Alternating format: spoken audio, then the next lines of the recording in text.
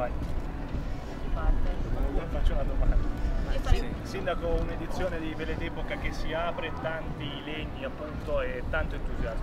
Mi piace definirla l'edizione del sorriso, perché finalmente siamo senza mascherine, questa edizione quindi è libera da prescrizioni particolari, ci è rimasto il buon senso, si riesce quindi a stare insieme dopo tanto tempo, ha avuto successo nelle iscrizioni perché ci sono 45 barche che hanno particolare pregio, hanno una qualità molto alta, una location che è meravigliosa perché è finito il museo navale, è finito anche l'altra ala, si è aperto il planetario, quindi in uno scenario incantevole dove si può regattare in mare molto bene, anche con delle novità.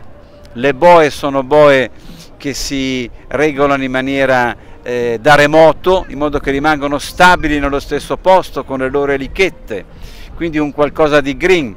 Ci sono le bici elettriche, ci sono i monopattini elettrici, ci sono degli stand che fanno vedere la storia della città di Imperia, la storia delle vele d'epoca, fanno vedere come questo territorio sia un territorio incantevole, con un buon clima, con un buon mare, ma soprattutto con una grande accoglienza. Quest'anno i paracadutisti carabinieri, l'anno prossimo i cent'anni di Imperia.